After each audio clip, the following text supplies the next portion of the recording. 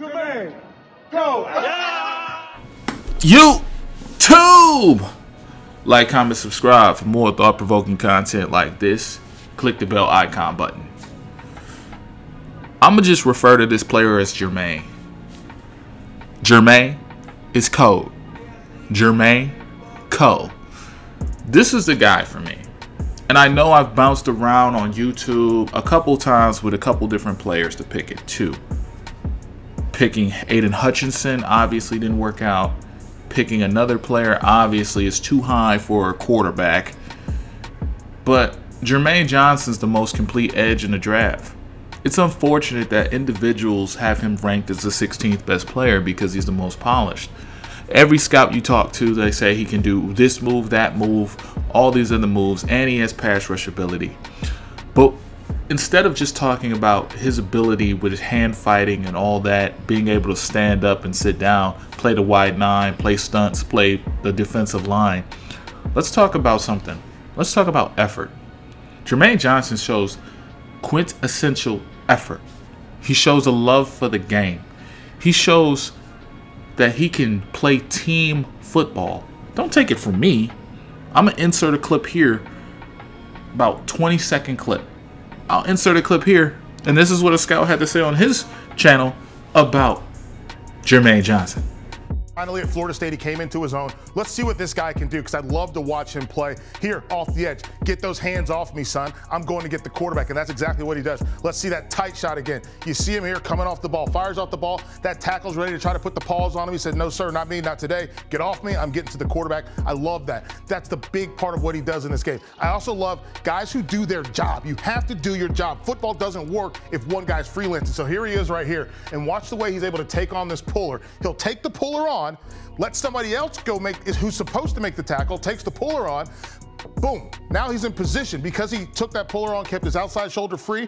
The other guy came in, forced the run back inside. Now he can make a tackle. That's good football. That's unit football. That's doing your job football, and that's what he's aiming to play. His heads up play here is something I think is super critical. The ability to recognize, oh, I did get the ball up. I'm just going to push him out of the way. I'm going to go score. This guy has had a huge rise up the charts this draft season. He went from a guy that people thought was day two to a guy that's probably going to be in the top 15. He is going to be a star at the next level. The fact that he understands football, he's willing to give up the big play just to make the right play and the correct play. That's what I really like about him. Now, he could do run fits, he could do all types of things when we're looking at the defensive end position, but giving up the sack. There's players in this draft that have to sack the quarterback or else it's not a good play. That's why people like Aidan, because it's not about just sacking the quarterback. It's about playing the edge consistently and then going after the quarterback. It's about doing your job and then getting after the quarterback. Now, he's not the sexy player. He's not a Thibodeaux. I don't understand the Thibodeaux hype. The Lions are probably going to pick KT with the second pick. They're probably going to run up there with that card and pick him because they like Oregon Ducks and I don't know. There is no other reason to draft him. But when we look at the most polished pass rusher in the draft, we have to understand that this dude's combine numbers, RAS score, all the measurables and the intangibles stand out tremendously. And whatever team gets this player is going to be thankful, okay? Is going to be immediately thankful. I think he's better than Kayvon Thibodeaux. I honestly think it's Aidan Hutchinson, him, Boye Mafe, and then Thibodeaux. But honestly, that remains to be seen. In four years, we're going to be talking about the legend of Jermaine Johnson and was Avery wrong or right. I can deal with that type of criticism. I think Thibodeaux is an eight sack a year guy.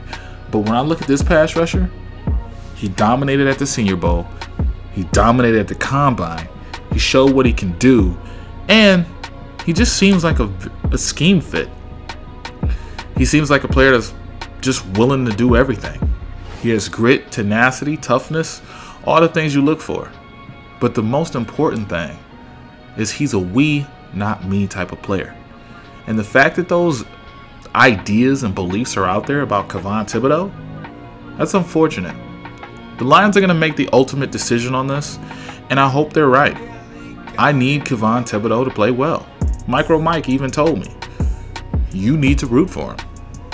And we will root for him because his success is the Lions' success. But at the end of the day, I just think Jermaine Johnson's going to be a better player and have a better overall career. Like, comment, subscribe for more thought provoking content like this. Click the bell icon button. Love y'all. Jermaine, go!